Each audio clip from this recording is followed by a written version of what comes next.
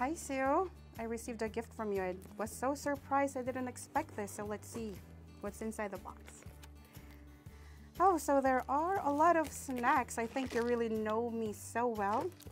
So I love this one. This is very spicy.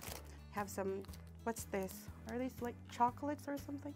I can't read Korean, but they all look really, really good. And I read your letter earlier. And all I want to say is thank you so much. And I will really eat all of them and then let you know which one is my favorite. So I hope to see you in class again next time. Goodbye.